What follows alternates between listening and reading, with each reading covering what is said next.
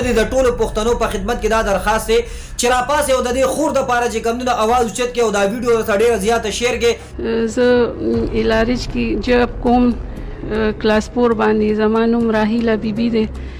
زما د نه کالو نه زاغې کې نوکر یم او ما سره جی ډیر ظلم زیاتې شوی دی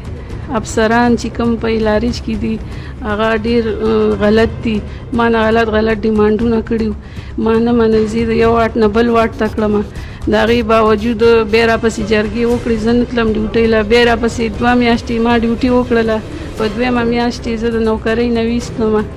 ما سره ډیر ظلم وکړو په زمونږ په الارج کې ډیر کرپشن کیږي افسران چې د هغوی څه خوښه یې هغه منل کیږي او د هغوی چې څه مطالبې دي هغه کیږي او چې کم غریبانان د هغوی مطالبې نه مني او کم د هغوی دغه نه کیږي نو هغه پسې د نوکرۍ نه مباسي او په کور یې کیني دا زما اسلامي جمهوریه پاکستان دی چې نن په هغې کې زما د یوې خور چې کوم دی عزت محفوظ نه دی زما د ماشومې چې کوم دی عزت محفوظ نه دی د ټولو پښتنو په خدمت کې دا درخواست دی چې راپاڅی او ددې خور دپاره چې کوم ده اواز اوچت کړي او دا ویډیو درته ډیره زیاته شیر کړي چې دا هغه اعلی افسرانو ته ورسی او زما د کې پي کې د وزیر اعلی صاحب نه او دغه شان د پولیس د اعلی افسرانو نه چې کوم ده دا مطالبه ده چې په دغه اعلارج کې دننه چې کوم ده مسلمان او کوم ده انسان په جامه کې کوم شیطانان دي یا او کوم